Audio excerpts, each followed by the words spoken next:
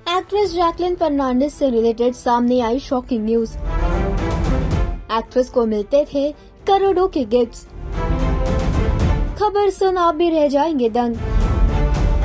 क्या है माजरा? आइए जानते हैं.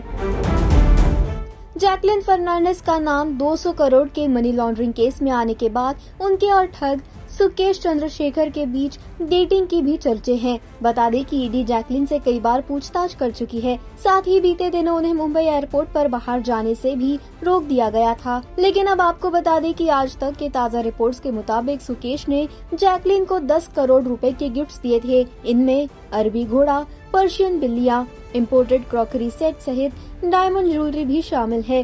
जैकलीन ही नहीं। रिपोर्ट्स हैं कि सुकेश ने नोरा फतेही को भी महँगी कार गिफ्ट की थी। ईडी की चार्जशीट के मुताबिक सुकेश चंद्रशेखर ने खुलासा किया है कि उसकी जैकलिन फर्नांडिस के साथ दोस्ती हो जाने के बाद उसने जैकलिन को करोड़ों रुपए के महँगे उपहार दिए थे। इसके अलावा जैकलिन के भाई को उसने पचास हज़ार यूएस डॉलर ऑस्ट्रेलिया में मुहैया कराए थे। इस बीच ये भी पता चला कि सुकेश ने मिनी कूपर से लेकर डायमंड इयर तक जैकलिन को कई गिफ्ट दिए थे। बिल बता दें कि इन सब खुलासों के साथ साथ एक्ट्रेस को लेकर कई और बातें सामने आई हैं। ऐसे में देखना होगा कि एक्ट्रेस अब इस पूरे मामले में कैसे बच पाती है। फ़िलहाल इस न्यूज़ पर आप हमें बताएँ अपनी राय। Also do like follow and subscribe to Bollywood now on Facebook Instagram and YouTube